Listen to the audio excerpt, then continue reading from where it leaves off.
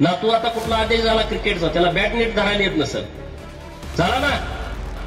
अरे आज राज्यातली इतकी क्वालिटीची पोरं आहेत क्रिकेटमध्ये त्यांना तिथं जवळपास पण येऊ देत नाहीत. मोठं राजकारण चालू आहे. आणि त्याचे ठराव घ्या गावागावातले. पाठवून द्या. बैलगाडी भरून आपण सरकारला पाठवून देऊ. आपण अहिल्यानगर केल्याशिवाय शांत बसणार नाही. त्यांच्याकडे दूरदृष्टी नव्हती. यांच्याकडे कल्पकता नव्हती. यांच्याकडे कुठल्याही चांगल्या पद्धतीचा गावगाड्यातल्या लोकांचा विकास व्हावा अशा पद्धतीची वैचारिक दृष्टी नव्हती.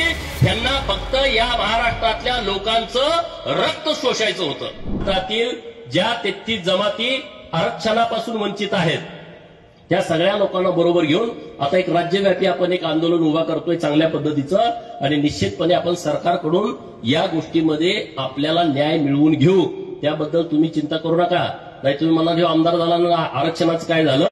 मी आमदार नव्हतो तेव्हा या आरक्षणाची बाजू घेऊन लढत होतो. मी आमदार झालो तरी मी आरक्षणाची बाजू घेऊन लढणार ते माझं काम आहे.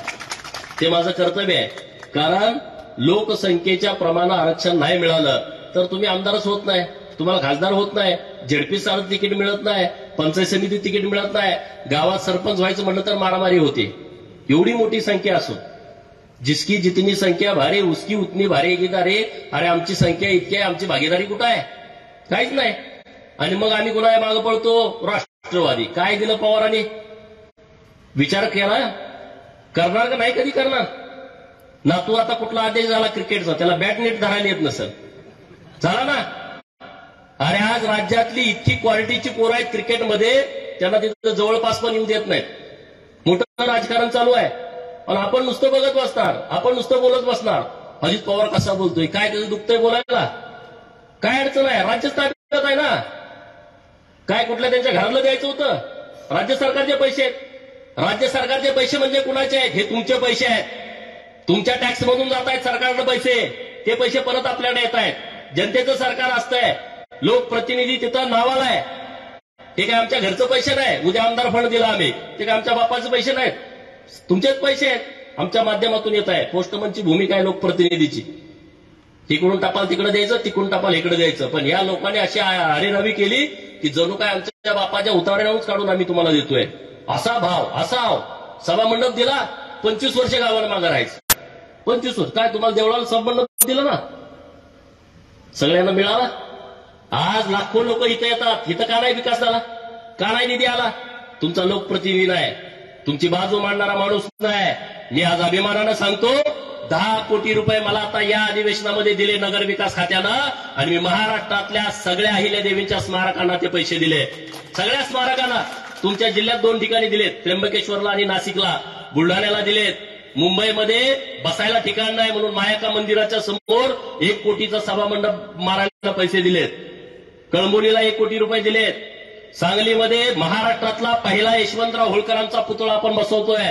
कलेक्टर ऑफिसच्या समोर तिथं सत्तर लाख रुपये फाउंडेशनला दिलेत. मला काय इकडे उभं राहायचं आहे? नाही पण माझं काम आहे. ज्या अहिल्या देवीने अखंड देशभर काम केलं. हिंदू धर्माचं रक्षण केलं. हिंदू मंदिराचा जीर्णोद्धार केला. त्या अहिल्या देवींची स्मारकं ज्या ज्या गावात आहेत त्या त्या गावाला निधी देणं एक जबाबदारी म्हणून माझं काम आहे. आता तर अहिल्यानगर अहमदनगरचा विषय पुढे आलाय. आणि त्याचे ठराव घ्या गावागावातले. पाठवून द्या. बैलगाडी भरून आपण सरकारला पाठवून देऊ. आपण अहिल्यानगर केल्याशिवाय शांत बसणार नाही आणि सरकारनं पाठिंबा दिलाय या सगळ्या विषयाला. देवेंद्र फडणवीस साहेबांनी हा विषय हातामध्ये घेतलेला आहे. त्यामुळं अहमदनगरचं नाव हे पुण्यश्लोक अहिल्यानगर होणार. त्याची चिंता तुम्ही करू नका. काही जणांतरी तरी होणार. असे अनेक विषय घेऊन आपण पुढे चाललोय. तर नाशिक जिल्ह्यामध्ये खूप चांगल्या पद्धतीचं परिवर्तन झालं पाहिजे लोकांच्यात परिवर्तन झालं पाहिजे मन परिवर्तन झालं पाहिजे. मताचं राजकारण बाजूला सोडून द्या आपण जरा वैचारिक दृष्ट्या पुढे आलं पाहिजे. आपण कुणाच्या बरोबर आहे कुणाची बाजू घेतोय कुणाचं नुसतं वावा करतोय. तर हे सगळे विषय आपल्या आजोबांनी केलं पंजोबांनी केलं आपल्या वडिलांनी केलं ते आता आपण करून चालणार नाही.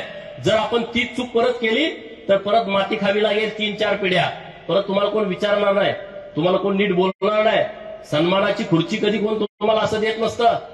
या राजकारणामध्ये सत्तेची खुर्ची हिसकावून घ्यायला शिका. गावागावामध्ये प्रत्येक गोष्टीमध्ये लक्ष घाला.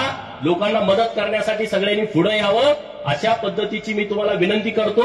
आणि शेतकऱ्यांना मी आवर्जून सांगतो मी शेतकऱ्याचा पूर्ण व्यासपीठावरचे सगळे शेतकरी आहेत. शेतकऱ्यांना प्रत्येक गोष्टीमध्ये जागरूकपणे आता राहिलं पाहिजे. पूर्वीसारखी शेती राहिली नाही. पेरुणारा काढायला गेला. असं होत नाही. द्राक्षाची काय परिस्थिती झाली बघता?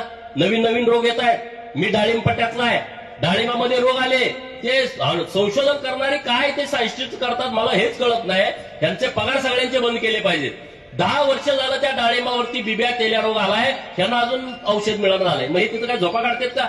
ह्याच्यावरती काहीतरी कुणाला तर अंकुश पाहिजे ना? दहा दहा वर्ष तुम्हाला त्याचं संशोधन होत नाही. आणि मग करोडो रुपयाचा निधी सरकारचा. या विद्यापीठाला करोडो रुपयाचा निधी त्या विद्यापीठाला करोडो रुपयाचा निधी. आणि मग करताय काय तुम्ही त्याचं? काय करणार? तुम्हाला दहा दहा वर्ष औषध निघत नाही. या जगामध्ये कोरोनावरती औषध मिळालं नाही. नरेंद्र मोदी साहेबांच्या नेतृत्वाखाली चार महिन्यामध्ये कोरोनावरती औषध आलं आणि या बिब्या रोगावरती औषध येत नाही. पिनहोल नावाचा रोग आलाय त्याच्यावरती औषध येत नाही. द्राक्षावरती वेगवेगळे रोग आले त्याच्यावर औषध येत नाही. अरे मग ही काय संशोधन केंद्र बंद केली पाहिजेत ना? ते काय तिथं झोपा काढतात काय? याच्याविषयी सुद्धा मी आता माननीय कृषी मंत्र्यांना पत्र लिहिणार आहे. की याचं काय नेमकं चाललंय? कसं चाललंय? ह्याचा कोण विचारच करत नाही. रोज नवीन रोग येतो आता मकेवरती रोग आला. मकेवरती कधी रोग आलता? आता मकेला औषध मारल्याशिवाय दोन फवारणी केल्याशिवाय मका येत नाही. ह्या सगळ्या विषयामध्ये आपण पुढे गेलं पाहिजे. नाहीतर नुसतंच हे करतंय ते करतंय आता कधीतरी सरकारकडून हे येणार आहे तर असं काही होणार नाही. आपण प्रत्येक गावातल्या प्रत्येक घटकानं जागरूक राहिलं पाहिजे आणि जागरूक राहून पुढे गेलं पाहिजे. आता जर तुम्हाला समृद्धी मार्ग जवळ आला त्यांनी भाऊसाहेबांनी सांगितलं की औद्योगिक क्षेत्राच्या खूप जमीन आहेत आमच्याकडं तर निश्चितपणे आता बदल होईल. आता मुंबईत तुम्ही जवळच होता पण आता अत्यंत जवळ आला समृद्धी महामार्गामुळं. आता सुरतवरनं दक्षिण भारतामध्ये जाणारा हायवे डिक्लेअर केलाय. सुरत चेन्नई चाळीस हजार कोटीचा. Pune to Bangalore parallel highway declare केला. चाळीस हजार कोटीचा. का हो याच्या अगोदर जमलं नाही? पवारांनी चाळीस पन्नास वर्ष इतर राज्य केलं. का त्यांना रस्ता करता आला नाही? अहो बारामतीला रस्ता नव्हता. फलटण बारामती रस्ता नव्हता. आपलं सरकार नंतर रस्ता दिलाय. का सरकार नव्हतं? केंद्र सरकार नव्हतं? राज्य सरकार नव्हतं? सगळं होतं पण याची नियत साफ नव्हती. त्यांच्याकडे दूरदृष्टी नव्हती. ह्यांच्याकडे कल्पकता नव्हती. ह्यांच्याकडे कुठल्याही चांगल्या पद्धतीचा गावगाड्यातल्या लोकांचा विकास व्हावा अशा पद्धतीची वैचारिक दृष्टी नव्हती. ह्यांना फक्त या महाराष्ट्रातल्या लोकांचं रक्त शोषायचं होतं. ह्यांना फक्त वापरून घ्यायचं. ह्यांना मतापुरतं वापरून घ्यायचं. मेळाव्याला बोलवून घ्यायचं. गर्दी करायची घोषणा करायच्या आणि निघून जायचं. अरे जाणता राजा अरे कुठला जाणता राजा? हा नेमता राजा आहे. यांनी या महाराष्ट्रातल्या कुठल्या गोष्टीचा विचार केला नाही मित्रांनो? अरे ठासून बोला. लोकशाहीमध्ये तो आपल्याला अधिकार आहे. जर तुम्ही नाही बोलला येणारा काळ तुम्हाला माफ करणार नाही मित्रांनो. या सगळ्या गोष्टीचा विचार करा. परत एकदा माळोबाच्या चरणी प्रार्थना करतो की सिन्नर तालुक्यामध्ये निश्चितपणे वैचारिक परिवर्तन होईल. वैचारिक परिवर्तन होईल. दोन हजार चोवीस ला जेव्हा लोकसभा आणि विधानसभा येईल तेव्हा सामान्य लोकांच्या मनामध्ये एक विचार परिवर्तन होईल वैचारिक वादळ निर्माण होईल आणि मग तेव्हा विजयी सभा घेण्यासाठी परत आपण इथं येऊ. चिंता करू नका. माणसं किती आहेत माणसं किती नाहीत मी बिना माणसाची सुद्धा कामं करतो. काही काळजी करू नका. मी जेव्हा राजकारणात आलो लोक भाषण ऐकायला यायची नाही घाबरायची लांब पळून जायची. मी मला घरात बसून ऐका. ऐका. आपले विचार मांडायला व्यक्त करायला डॉक्टर बाबासाहेब आंबेडकर साहेबांनी आपल्याला अधिकार दिलाय. आपण बोलायला शिकलं पाहिजे. व्यासपीठावरचे आमचे सगळे मान्यवर मंडळी या कार्यक्रमासाठी आले. तुम्ही सगळे मान्यवर मंडळी इथं उपस्थित राहिला. त्याबद्दल मी तुमचं मनपूर्वक आभार व्यक्त करतो. पुढे अनेक